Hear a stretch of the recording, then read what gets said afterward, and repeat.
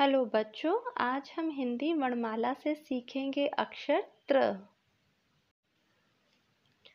त्र से त्रिकोण। त्र से त्रिशूल। त्र से लाए एक त्रिशूल, कैसी चमक दिखाता है? ऋषि मुनि के हाथों में भी यही त्रिशूल सुहाता है। सबसे पहले लिखेंगे आज की date. Twenty six dot eight dot twenty twenty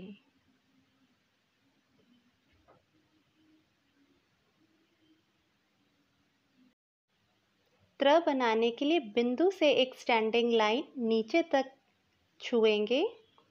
centre से आके एक स्लांट अप हल्का सा स्लान डाउन, तिरछी रेखा ऊपर और हल्की सी तिरछी रेखा नीचे। दोबारा सेंटर से आके एक स्लान डाउन जो नीचे वाली लाइन को नहीं छुएगा और ऊपर एक छत। बिंदु से एक स्टैंडिंग लाइन बीच से एक स्लांट अप और हल्का सा स्लांट डाउन। दोबारा सेंटर पॉइंट पे आके एक स्लांट लाइन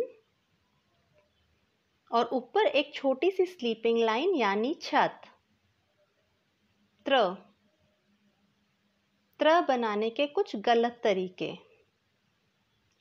स्टैंडिंग लाइन बना के सेंटर पॉइंट से स्लांट लाइन ऊपर की लाइन तक नहीं छूना है, ये गलत हो जाएगा। ये गलत तरीका है।